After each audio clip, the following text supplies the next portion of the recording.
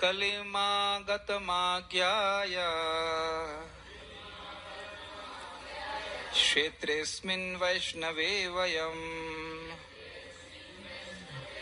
आसीना दीर्घसत्रेणा। कथायां सक्षणा हरे।